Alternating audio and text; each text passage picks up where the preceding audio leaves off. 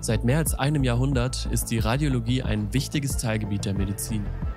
Von den ersten Röntgenstrahlen bis hin zu bildgebenden Verfahren wie der Computertomographie und der Magnetresonanztomographie ermöglicht sie immer genauer werdende Diagnosemöglichkeiten und bringt spätestens mit der Integration von Computeralgorithmen eine nie zuvor dagewesene Präzision und Geschwindigkeit in die Diagnostik. Manchmal hat man das Gefühl, dass ähm, ja, es fast unethisch ist, diese Daten einfach liegen zu lassen. Künstliche Intelligenz ist auch in der Radiologie angekommen.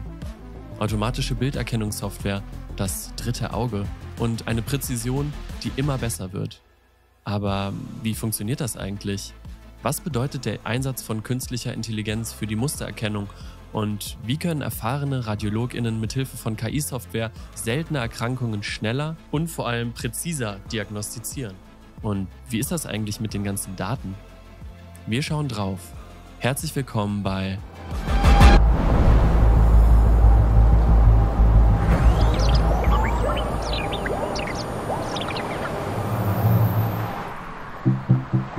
der Charité Campus des Berliner Virchow-Klinikums. Gegründet 1906 war es eines der ersten Zentren, welches in den Anfängen der Radiologie mit Röntgenstrahlen gearbeitet hat. Seitdem hat sich nicht nur auf dem Gelände viel verändert. Das weiß auch Katharina Erb-Eigner. Seit 14 Jahren forscht und praktiziert sie an der Charité. Ich habe ursprünglich in äh, Wien studiert und war dann zwei Jahre in England und seit 2009 äh, in der Radiologie der Charité. Ich habe äh, ja natürlich, äh, wie viele meiner Kollegen auch, viel Wissenschaft gem gemacht und mich im Bereich Kopf-Hals äh, spezialisiert und dann zuletzt auch zunehmend auf das Auge und die Augenhöhle. 2016 habe ich habilitiert und 2020 ist dann habe ich das Projekt äh, Radio Eye ins Leben gerufen. Okay, Bevor wir näher auf das Projekt eingehen und uns anschauen, was Radio Eye so besonders macht, nochmal einen Schritt zurück. Was genau passiert eigentlich in der Radiologie? Also der Kern der Radiologie ist sicherlich die Diagnostik, wo man mit bestimmten Verfahren die Erkrankung ähm, identifiziert oder erkennt. Oder es ist die Situation auch oft so, dass die Erkrankung schon bekannt ist und man möchte die Ausbreitung, das Stadium der Erkrankung bildlich darstellen. Da gibt's verschiedene technische Verfahren, da gibt's äh, Röntgen, Computertomographie, Magnetresonanztomographie oder auch Ultraschall. Und dann gibt es noch das Feld der interventionellen Radiologie, wo man minimal invasiv ähm, die Möglichkeit hat, die Erkrankung nicht nur zu diagnostizieren, sondern eben auch äh, gleichzeitig zu behandeln. Minimal invasiv bedeutet hierbei, dass medizinische Eingriffe mit minimaler Störung des Körpergewebes erfolgen. Das ist dann wiederum mit geringeren postoperativen Schmerzen, kürzeren Erholungszeiten und mit weniger Komplikationen während der OP verbunden. Ja, also der Ablauf ist so, dass die Patientin oder der Patient zu seinem Arzt, zu seiner Ärztin geht. Das kann jetzt ein Hausarzt sein, das kann ein Facharzt sein äh, mit einem bestimmten Problem. Meistens ist das ein Symptom. Und wenn der Arzt oder die Ärztin das Gefühl hat, der Radiologe kann das jetzt ähm, beantworten, gibt es eine Überweisung, wo eine Frage definiert wird. Also meistens ist das äh, Frage nach Ursache der Symptomatik. Und ähm, der Patient kommt dann mit dieser Überweisung zu uns und wir überlegen uns dann, welche äh, diagnostische Methode die richtige ist und wie wir diese Frage am besten beantworten können. Also, ein Patient oder eine Patientin kommt in die radiologische Abteilung und hat ein Symptom. Wie geht es dann jetzt genau weiter? Um einen genauen Einblick zu bekommen, begleiten wir Liel bei einem speziellen Fall.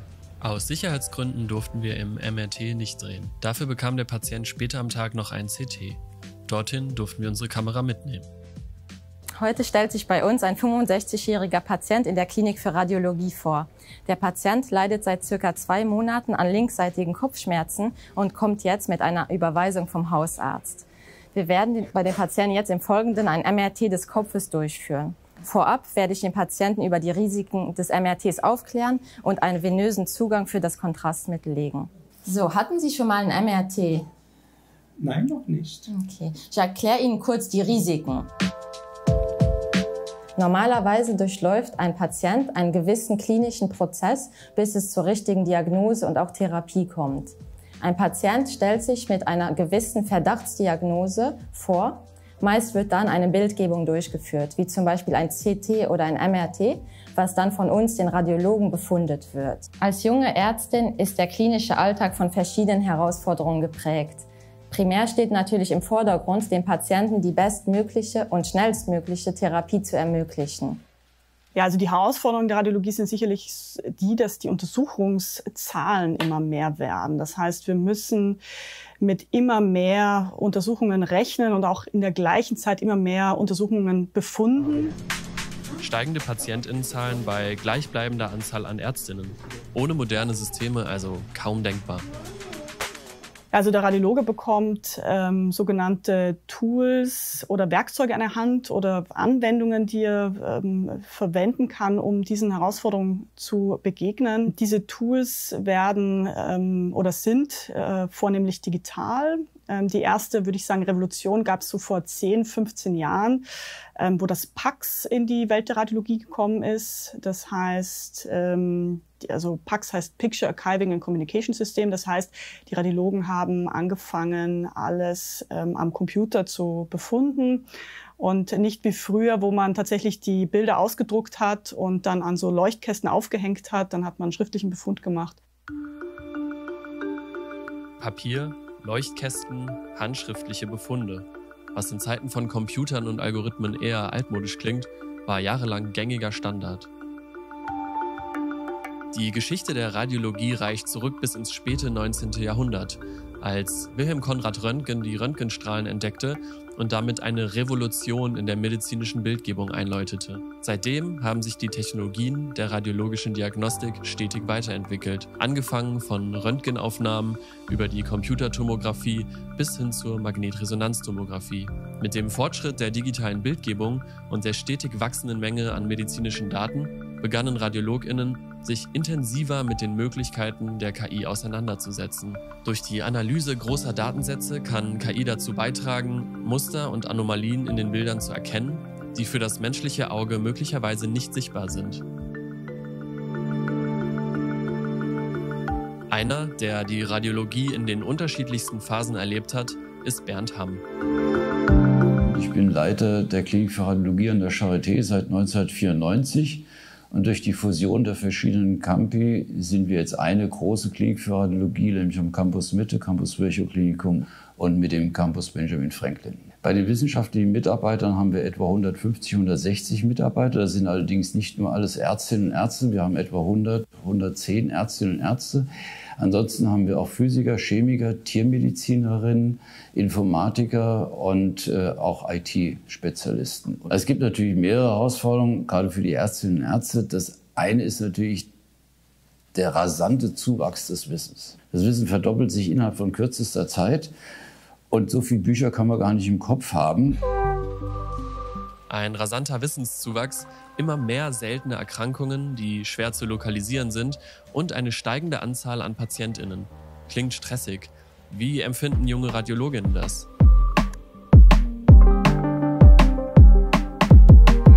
neben der zeitlichen Arbeitsbelastung in, in der Ausbildung, also zum Beispiel Dienstschichten, Nachtschichten, äh, muss man sich natürlich das äh, medizinische und relevante technische Wissen aneignen, behalten. Und ähm, das ist natürlich schwierig, wenn plötzlich, wenn, wenn wir plötzlich exponiert sind mit selteneren oder komplexeren Erkrankungen. Insofern ist die Digitalisierung ein echtes Hilfswerk. Früher hat man vielleicht ein bisschen Angst gehabt vor künstlicher Intelligenz. Inzwischen registrieren wir, dass wir künstliche Intelligenz brauchen als Unterstützung. Denn, wie gesagt, das Wissen explodiert. KI als Hilfsmittel, als Speicher und Ordner unzähliger Bilder, Muster und Informationen vergangener Diagnoseverfahren. Klingt im ersten Moment so, als würden Diagnoseprozesse präziser und vor allem schneller verlaufen können. Stimmt das?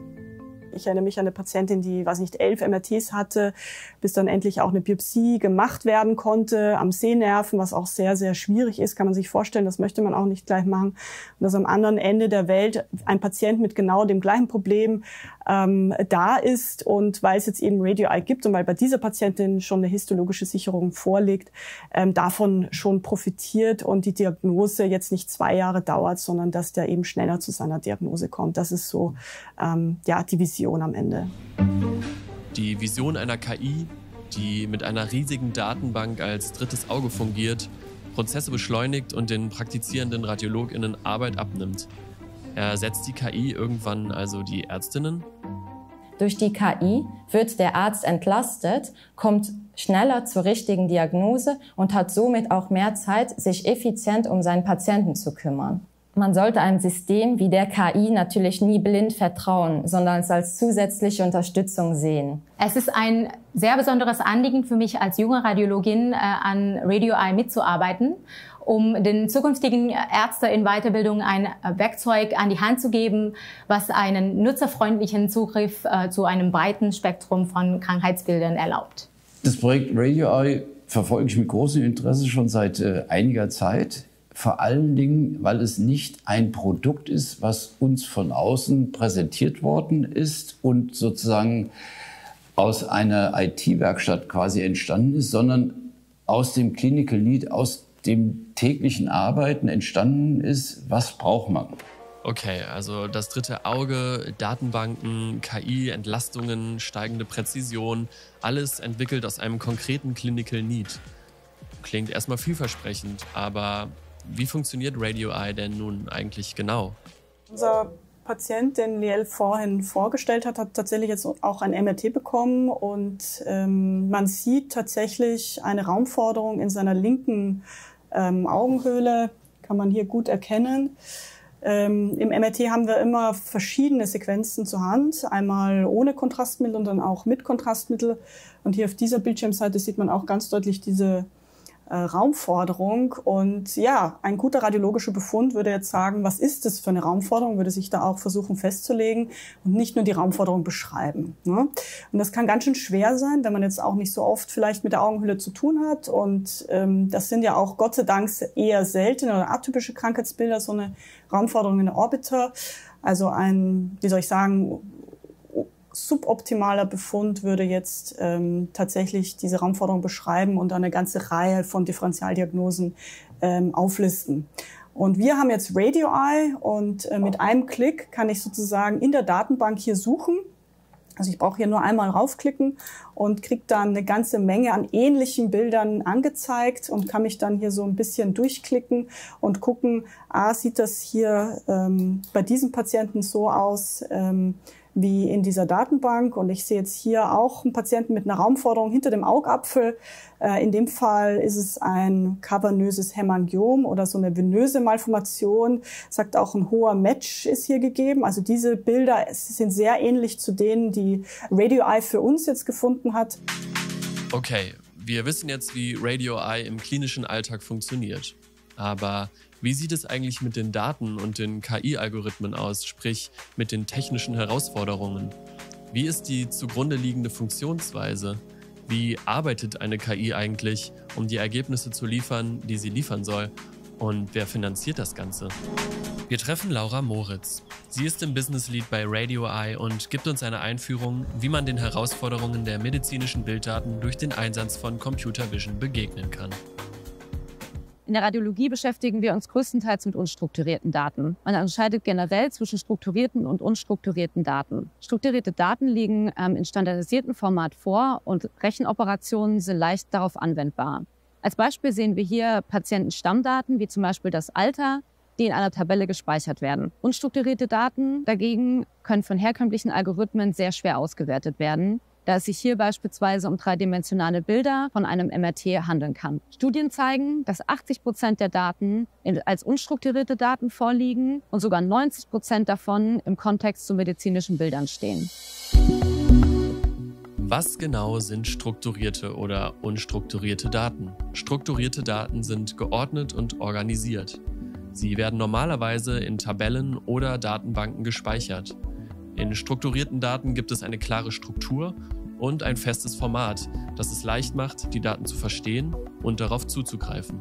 Unstrukturierte Daten sind dagegen nicht in einer festen Struktur organisiert. Sie können in verschiedenen Formaten vorliegen, wie zum Beispiel Textdokumenten, E-Mails, Bildern, Videos oder sozialen Medien.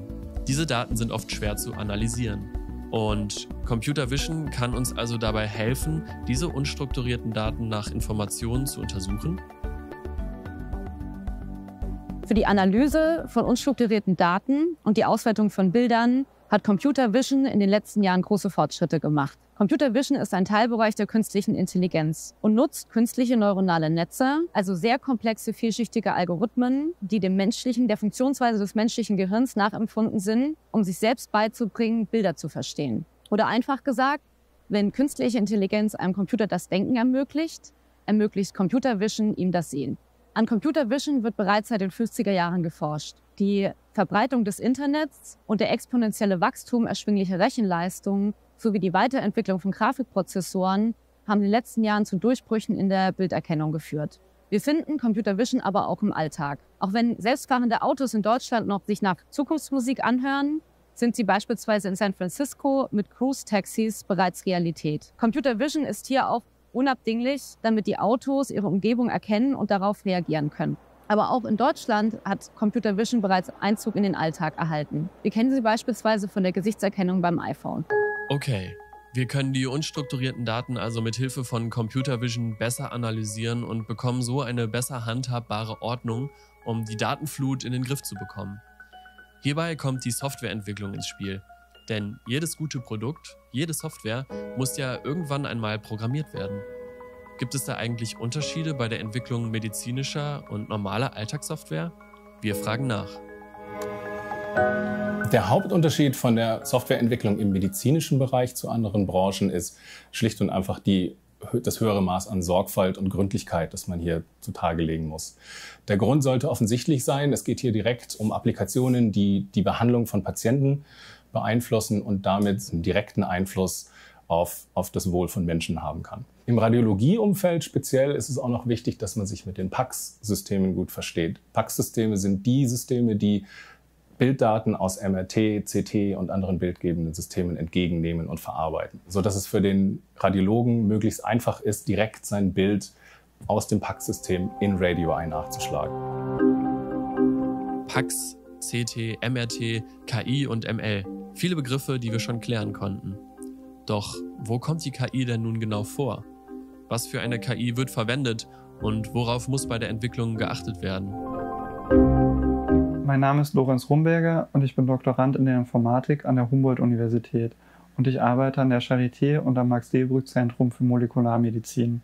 Meine Forschung dreht sich um maschinelles Lernen und Anwendungen dafür in der Krebsforschung, beispielsweise um die Diagnose oder die Patientenversorgung zu verbessern. Maschinelles Lernen ist ein Teilbereich der KI-Forschung, der in den letzten Jahren viel Aufmerksamkeit bekommen hat. In den Nachrichten waren zum Beispiel Algorithmen wie AlphaFold, das die Proteinstrukturvorhersage verbessert hat. Oder äh, sehr populär im Moment ist ChatGPT, das revolutioniert, wie Studierende ihre Hausarbeiten schreiben. Für diese Revolution verantwortlich sind meistens Algorithmen, die künstliche neuronale Netzwerke genannt werden. Neuronale Netze können jegliche Funktionen ähm, mit genug Daten beliebig genau annähern. Und was ich damit meine, versuche ich jetzt so ein bisschen zu erklären.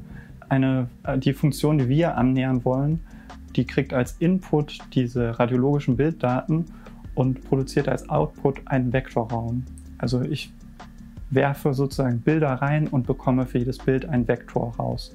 Und dieser Vektorraum, der soll so strukturiert sein, dass Bilder, die ähnliche Pathologien zeigen, nah beieinander sind, während Bilder, die unterschiedliche Pathologien zeigen, im Vektorraum weit voneinander entfernt sein, sein sollen. Wenn wir das neuronale Netz dann trainieren, dann lernt es diese Funktion anzunähern, die diese radiologischen Bilddaten auf diesen Vektoren abbildet. Und wir können das dann für die Bildsuche verwenden, weil dort die ähnlichen Pathologien oder die Bilder der ähnlichen Pathologien Cluster bilden und wir sozusagen dann einfach nur für Bilder, die neu reinkommen, zeigen können, das sind die Bilder, die jetzt sehr nah dran sind in diesem Vektorraum und das unserem Nutzer zeigen können.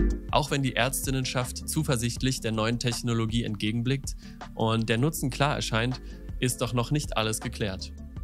Wie ist das mit der ethischen Perspektive? Ist es wirklich richtig, fremde Daten von Patientinnen zu nutzen? Beziehungsweise, woher bezieht die Charité ihre Daten? Die Datensätze, die wir beobachten, spiegeln nicht die Gesamtbevölkerung oder die Grundgesamtheit wider. Ein Beispiel dafür ist die Charité, wo wir mehr seltene und mehr schwere Erkrankungen beobachten können, weil andere Krankenhäuser ihre Patienten der Charité überweisen, die solche Erkrankungen haben. Das führt zwar zu einer statistischen Verzerrung der Daten, aber für uns ist es ein Vorteil, da wir von den seltenen Erkrankungen mehr Beobachtungen haben als die meisten anderen Krankenhäuser. Also wir sind ja darauf angewiesen, ähm, dass wir möglichst viele Bilddaten für das äh, Projekt bekommen, damit die Bildsuche wirklich gut funktioniert. Man kann das sich so vorstellen, umso mehr Bilddaten man hat, umso besser funktioniert das. Die Charité hat einen Haufen Daten, ähm, da sind wir sehr glücklich, aber natürlich wollen wir auch ähm, Bilddaten aus anderen Zentren ähm, akquirieren, ähm, damit diese Bildsuche dann natürlich überall funktionieren kann und nicht nur in der Charité funktioniert. Jetzt sind wir gerade dabei, Bilddaten eben aus anderen europäischen Ländern einzusammeln, Asien und den USA. Uns zugute kommt, dass es schon seit langen Jahren einen offenen Standard gibt, wie diese Daten gespeichert werden und welche Metadaten enthalten sind. Das ist der sogenannte DICOM-Standard und der wird eigentlich überall verwendet, sodass wir die Daten bekommen und dann sofort damit arbeiten können.